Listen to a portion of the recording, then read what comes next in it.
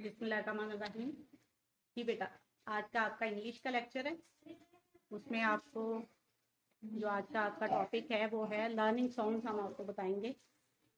Learning songs में कि जब हम बोलते हैं मतलब बात करते हैं आपस में तो उसमें जो हमारी साउंड्स होती हैं, जो वर्ड हम बोलते हैं, वो उनकी किस किस्म की आवाज़ जो है, वो बनती है। उसको सॉन्ग्स बोलते हैं। तो आज का जो हमारा है, हम कॉन्सेंट क्लस्टर्स के बारे में पढ़ेंगे। इंग्लिश का आपका ये लेसन है, जिस, जैसे, जिसका हम अभी जो है वो डेमो करने लगे हैं। तो ये बुक दे दीजिए बुक दे दीजिए मुझे। ओके जो बड़े बच्चे हैं, उन लोगों ने तो ये टॉपिक जो है वो कवर किया हुआ होगा बेटा। पढ़े पहले? कॉन्सेंट क्लस्टर्स के बारे में? लर्निंग साउंड है। जब आप बात करते हैं तो उसमें जो आपकी आवाज़ बनती है या जो हम अल्फाज हम आवाज़ अल्फाज होते हैं, उनको हम बोलते हैं कॉन्सन क्लस्टर कॉन्सन क्लस्टर मतलब वो वो वर्ड वो अल्फाबेट्स जिसको जब हम स्पीकिंग में यूज़ करते हैं लर्निंग में यूज़ करते हैं तो उनकी साउंड जो होती है वो एक जैसी होती है. जैसे ये देखें, आज जो हमने ऊपर बनाया है टेबल उसमें हम एस एच और एस टी की बात कर रहे हैं. ये दो आपके कॉन्स्टेंट क्लस्टर्स हैं S H and S T के इनको जब हम इनिशियल पोजीशन पे यूज़ करेंगे इनिशियल पोजीशन कौन सी होती है बेटा? जिस, जो के पहले वर्ड के स्टार्ट में यूज़ हो रही है। फ़र्स्ट वाली पे, जरा स्केल कीजिएगा। जी ये देखें। ये है आपकी इनिशियल पोजीशन मतलब जब किसी भी वर्ड के बिल्कुल स्टार्ट में वो वाली साउंड यूज़ होगी तो कैसी उसकी जो है वो आवाज़ बनेगी। एस एच को जब हम आई पी के साथ यूज़ कर रहे हैं तो क्या बन रहा है? वर्ड क्या बनेगा? शिप गुड सॉन्ग कौन सी है? की की सॉन्ग आ रही है ना? शिप में। इसी तरह से इससे अगला वर्ड देखें। शर्ट शर्ट में कौन सी सॉन्ग बन रही है? एस एच जो है वो जो है उससे अगला वर्ड है आपका वो श्रब श्रब पढ़ा है ना? साइंस में भी है आपका हर्ब्स एंड श्रब्स का टॉपिक जो है वो। ये तो ये जो आपकी पोजीशन है जिसमें जो वर्ड है कॉन्सेंट क्लस्टर है वो इनिशियल पोजीशन पे या शुरू में यूज़ होता है उसको क्या कहते हैं? इनिशियल पोजीशन और जो फाइनल पोजीशन होती है वो वो पोजीशन होती है बेटा जिसमें यही वाली साउंड आपके वर्ड के लास्ट में चली जाती है। देखें जरा स्केल कीजिएगा प्लीज़ ये देखें। डी लास्ट में चली गई ना कोई साउंड सी की ही है। लेकिन लास्ट में यूज़ हो रही है वर्ड से। जबकि इनिशियल पोजीशन में क्या हो रहा था, वही साउंड स्टार्ट में वर्ड के स्टार्ट में यूज़ हो रही थी। इसी तरह से डिश से आगे आपका है वर्ड फ़िश गुड उससे आगे क्या है? ब्रश गुड समझ आई कॉन्सन क्लस्टर क्या होता है? जिसमें वो वर्ड यूज़ होते हैं, वो अल्फाबेट्स मिला के हम यूज़ करते हैं, जो कि एक ही साउंड जिनके बुलाने से बनती है। वो साउंड आपके वर्ड के स्टार्ट में भी हो सकती है इनिशियल पोजीशन पे भी हो सकती है और वही साउंड सेम जो है वो आपकी फाइनल पोजीशन पे भी हो सकती है यानी वर्ड के लास्ट में भी हो सकती है इसी तरह से अगला देखिए जरा वर्ड पहले हमने एस एच की बात की है अभी आप नीचे देखें S O T S O T इसमें इनिशियल पोजीशन में कौन से वर्ड बाँध रहे हैं बेटा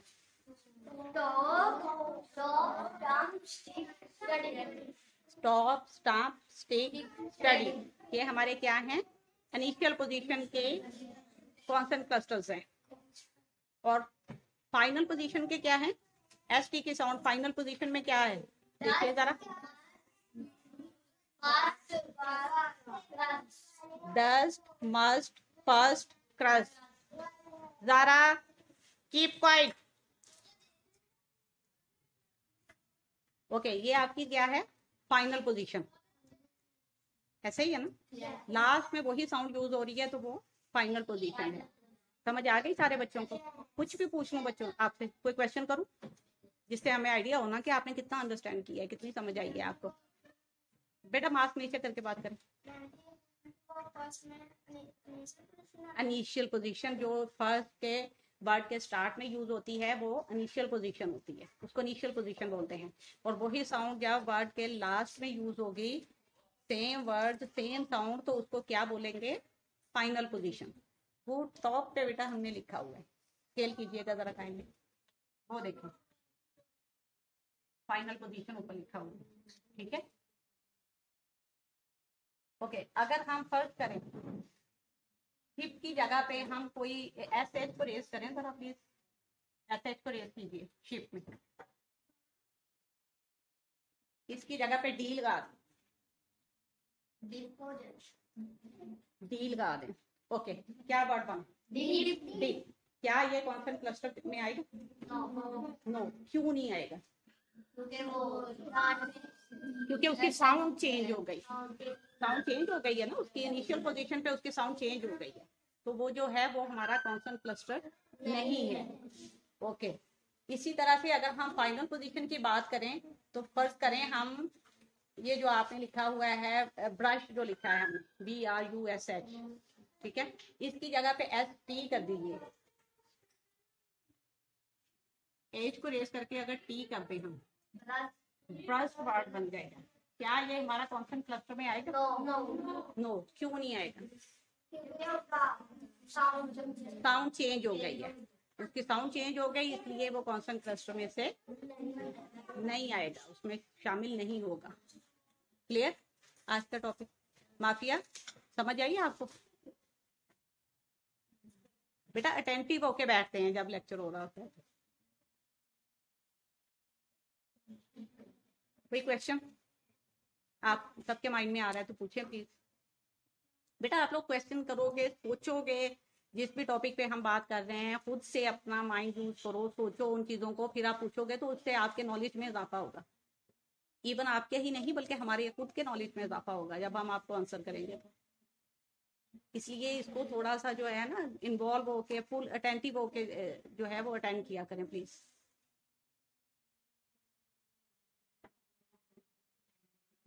इनिशियल पोजीशन क्या होती है? इनिशियल पोजीशन, लर्निंग साउंड में इनिशियल पोजीशन क्या होती है? जी, श्याम बताएँगे। आपने तो क्वेश्चन नहीं करना बट मैं आपसे कर रही हूँ। बताइए। अभी मैंने इतना लंबा लेक्चर दिया है आपको श्याम स्टैंड अप जी, बताइए। क्या हो गया है? क्यों आप लोगों के दिमाग इतने माउफ हो जाते हैं? अयान जी अयान आप ही हैं। इनिशियल पोजीशन क्या होती है? किसी भी जब हम, मैं तो आया ही बाद में था ले एक्सक्यूज आ गई है कि मैं आया बाद में था। First position that's good Ramiz ने आंसर किया है जी। Shyam shame on you Ayan behave yourself first position किसी भी साउंड में, किसी भी वर्ड की जो फ़र्स्ट पोजीशन होती है, वो इनिशियल पोजीशन कहलाती है। और फाइनल पोजीशन क्या होती है? श्याम ही आंसर करेंगे इसका।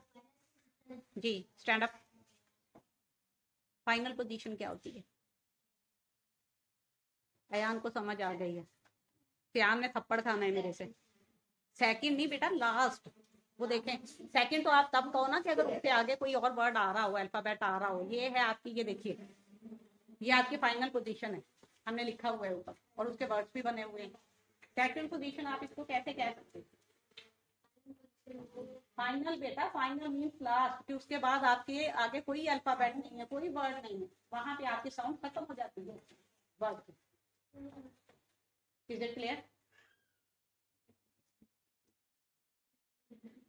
okay that's it